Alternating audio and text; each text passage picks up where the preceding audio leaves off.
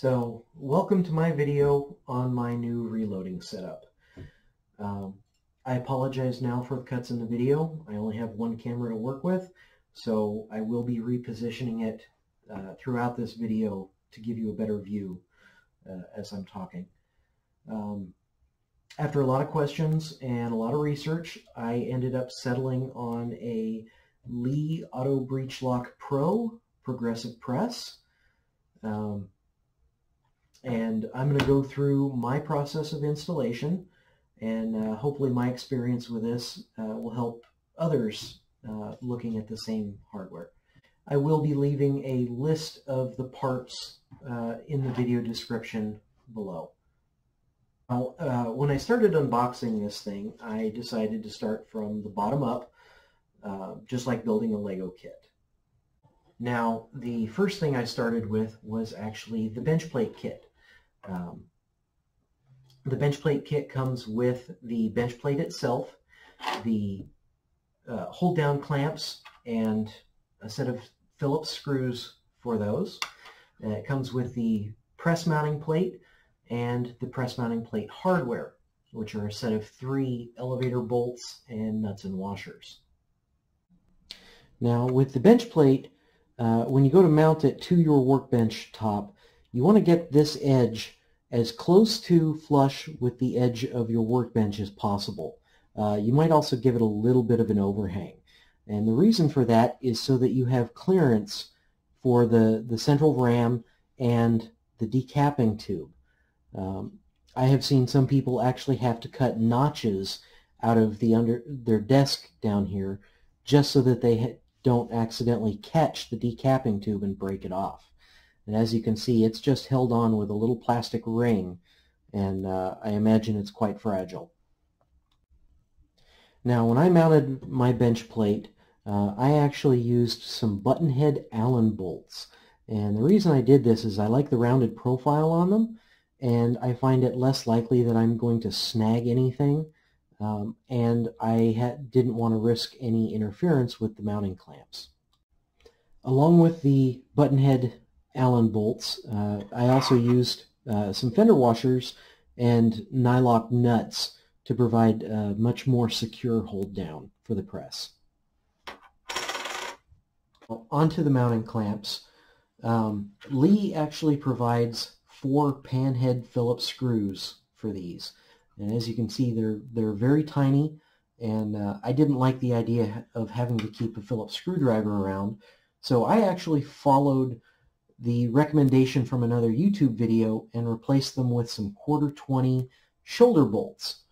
Uh, these lift the head up quite a bit and make it accessible for loosening and tightening by hand. Uh, you can actually get knob caps that go on these to, to make it even easier for you. Now with the mounting plate itself, uh, Lee provides the required hardware, uh, three elevator bolts and the nuts and washers and they just slide right up through the bottom of the plate, tighten them down, and then slide the press into, into place and tighten down the locking clamps. Now that we've got the press securely mounted to the bench, let's go ahead and take a look at the, uh, the press itself. I'm going to go ahead and remove all the pieces and parts that I've installed and we'll go through it step by step. Now, when you first get your press, the handle will actually be spun around backwards. So all you have to do to fix this is to loosen this bolt up and then turn the handle 180 degrees and then retighten that bolt. If you notice the clamp on this arm it'll actually allow for adjusting the length of the handle up and down quite a bit. But you should be careful that if you shorten the, the arm too much, the handle can interfere with the slide here for the case feeder. As you can see, the arm for the press actually does come down pretty low from my desk. If this is too low for you, there are some companies that actually make stands that will that will raise the press up about 10 inches. and that should help quite a bit.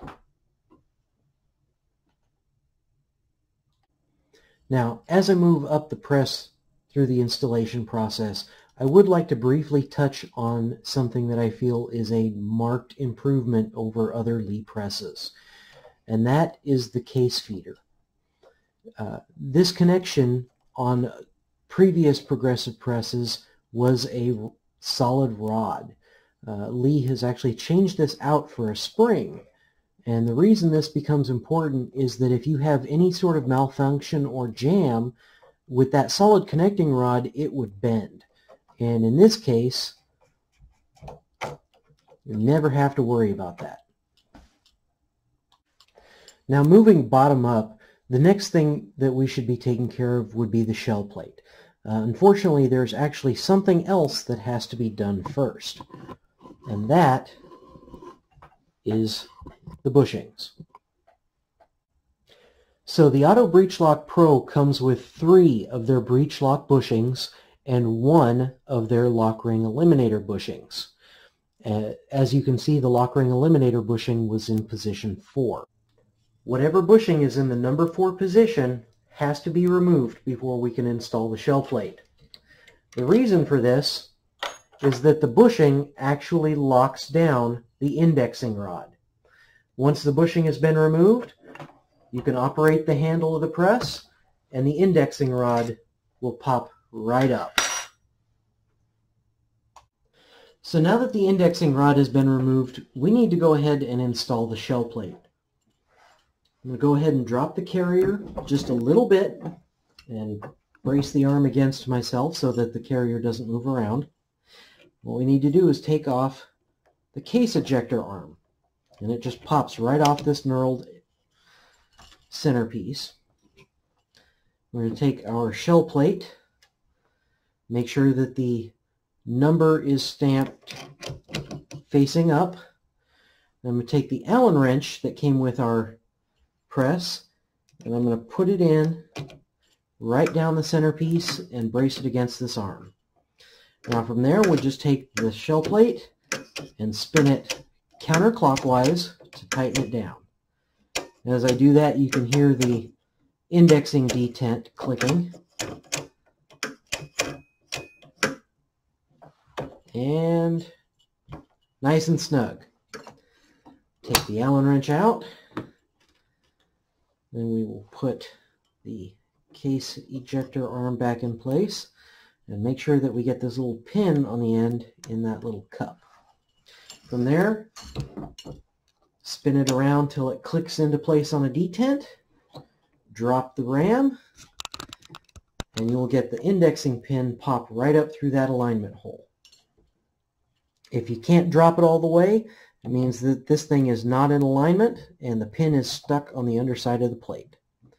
From there, we will go ahead and we will take the indexing rod and drop it right down through the center, right into the hole, and push it down.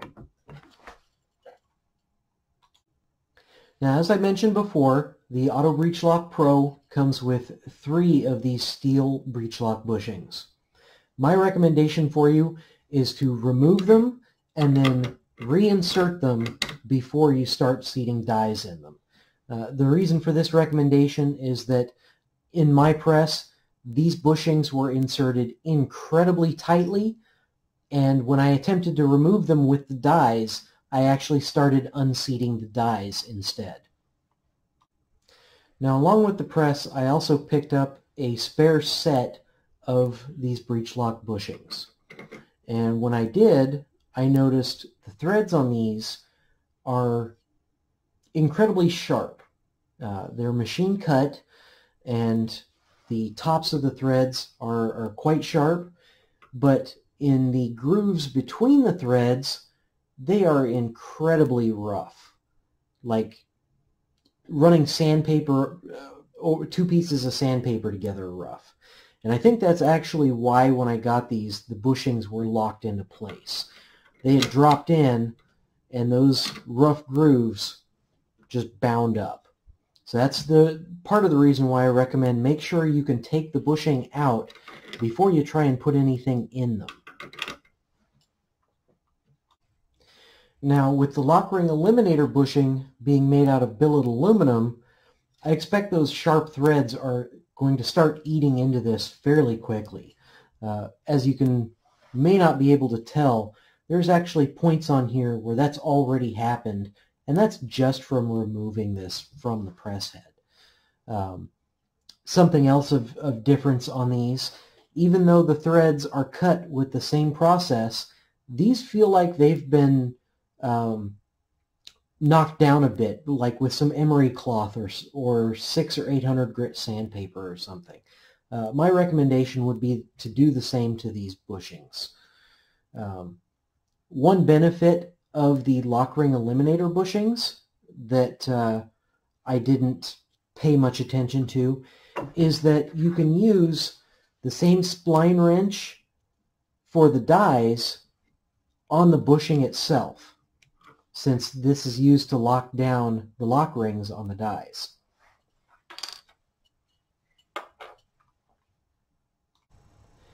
Once you can get your breech lock bushings in and out of the press without a lot of trouble, go ahead and make sure you've got all your bushings inserted, twist, in, twist locked into place, and then we're going to go ahead and mount the dies.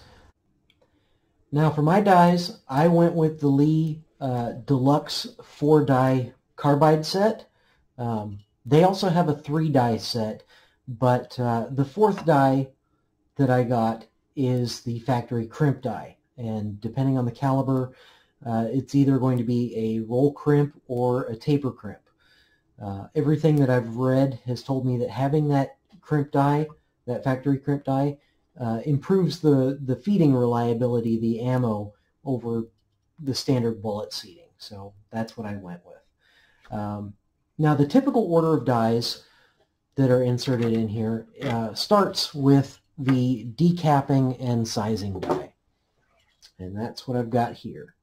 We're going to drop that into the number one hole, which is right here next to this case feed hole, and then twist lock it into place.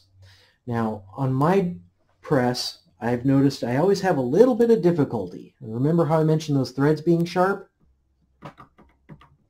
Usually I have to rock this into place just because of one of those threads that always seems to bind up.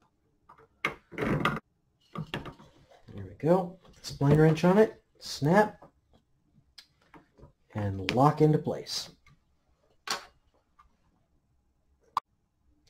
Now something else of note is that inside the bushing holes there are actually O-rings.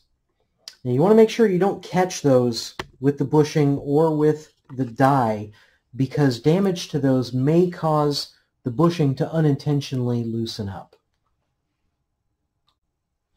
Now from there we go on to station number two and we will insert the flaring and powder insertion.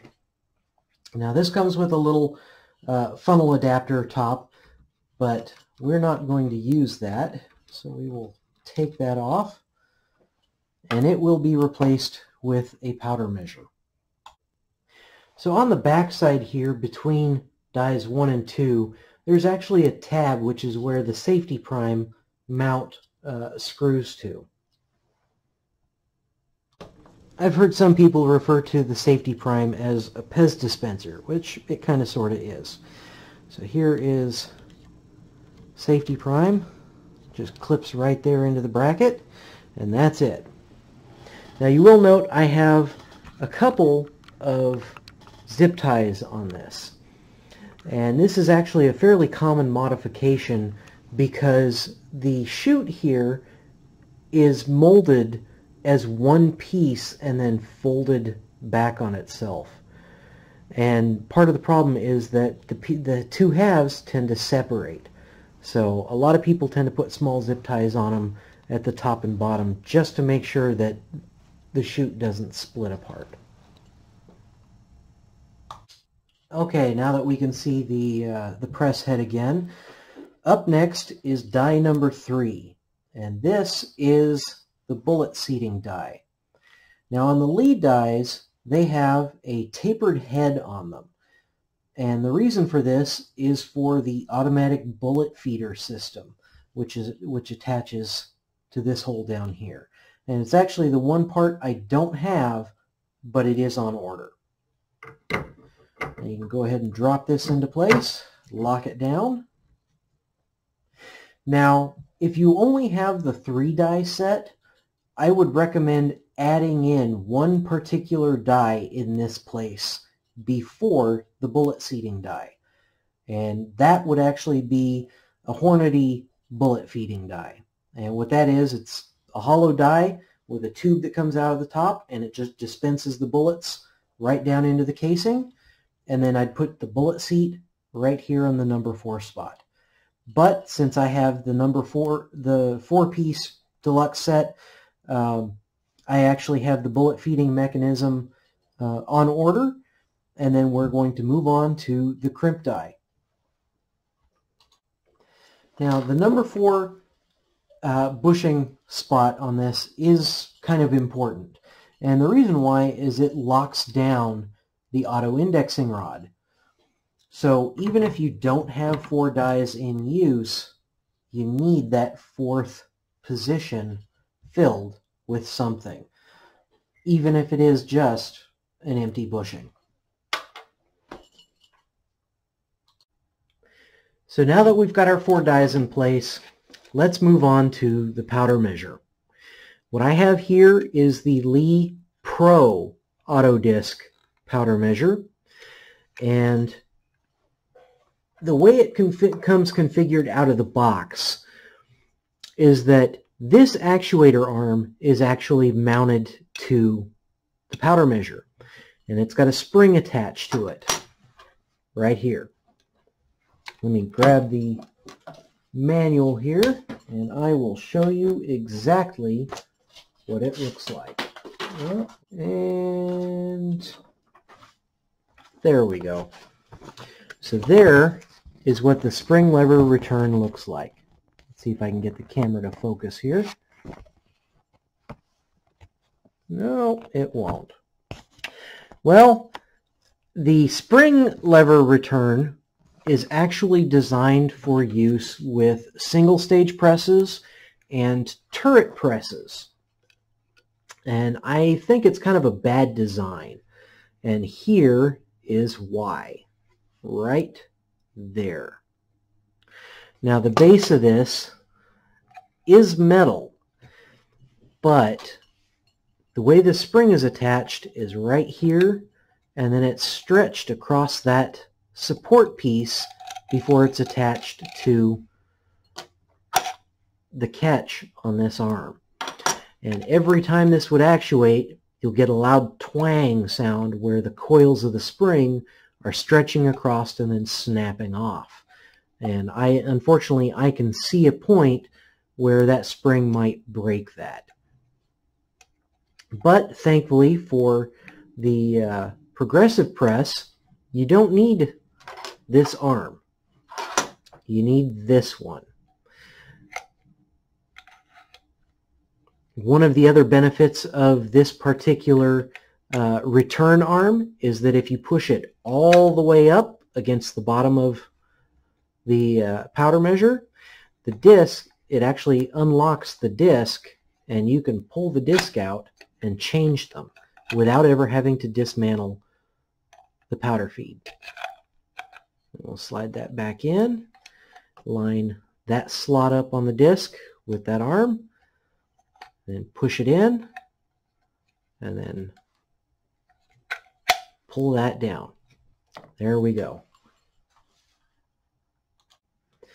Now something to note, along with the powder measure, everything that I had been getting told was that I also needed the riser to go with it. And I was told that the, the purpose of the riser was to lift the powder measure up out of the way of the, the safety prime system. What nobody had mentioned to me was that this is used for single stage presses and it is used for turret presses but it doesn't necessarily need to be used on a progressive. And as I discovered, I don't think that I will be needing it on mine. So drop that back in its tube, back over to there. So from here, I'm going to take my powder measure, drop it into the flaring die, and we are going to tighten it down into place. Uh, if I can get my fingers on that little thumb screw. All right, nice and tight. Now, if you'll notice, I actually, this uh, actuator arm for the reset is actually supposed to be lined up vertically over the top of this little loop right here. And the reason for that is how this actuator arm operates, which unfortunately I feel is a severe flaw. It's, it's got a problem, and I'll show you what that is. So the Pro Auto-Disk powder measure uses this little ball chain as a reset mechanism. And what you're supposed to do is take this chain, feed it through the outside hole, and then feed it back through the inside hole and that's uh, the tension lock for it. The other end of the chain, you're supposed to drop through this little hole in the carrier, and then with the slack on the underside, slide on a little tension spring, and then lock it into place with this little brass bell which just slides over the chain like so. Now the reason I say this is a flaw is because if you look at the carrier, that attachment point sits right over the top of the mounting bolt. And what happens when you bring that carrier down is that it actually crushes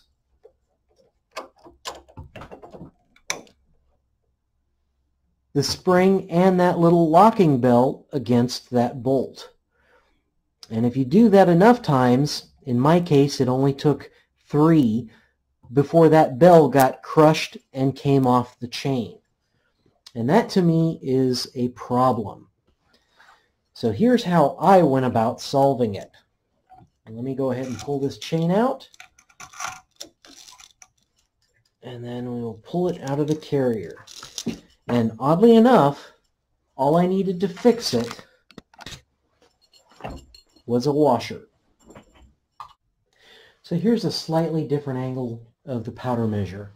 And what I did was I actually turned it until the reset arm is lined up directly over the, uh, the support rod here for the press head. We're going to go ahead and remove that. And then what I'm going to what I'm doing is I'm going to loosen up all the Allen bolts for the press head except for this one. This one I'm actually going to take out. And the reason for is so that I can slip this washer with that hole over that rod. And we'll set it back down and we will tighten it up.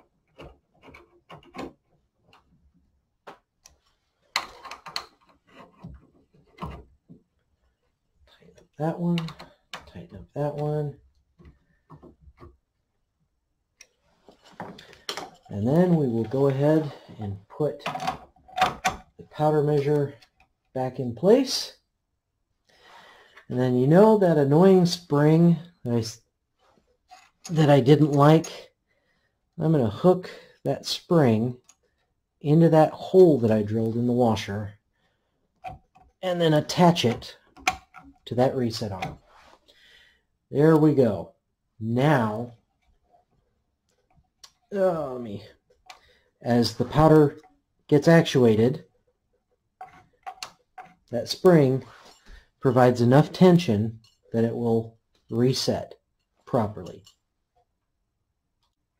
Now, I would love to see Lee actually take this idea and make an actual bracket or molded loop or something uh, of some kind to repurpose this spring specifically for doing this. After all, the spring here on the case feeder has a little molded plastic holder that does something similar for this spring. So last but not least is going to be the case feeder. And this is probably one of the most annoying uh, things that I had to set up. And as you can see, there are actually two mounting holes on here. And the reason why is these new case feeders are actually universal. They have a large hole and a small hole. And depending on which bolt hole, mounting hole you use determines which hole the brass is going to try and feed from. Now if you're using uh, smaller brass for like pistol caliber or something, you're probably going to be using the small hole. And in that case, there is actually this little blocking plate that slides into place over the larger one. That way you don't have brass falling out the back end. Now with that bolt, you've got three nuts. You better have three. You need one to tighten the case feeder down to the bolt. You have a second one that is going to be used for the height adjustment of the bolt. And then you have the third one that locks it down.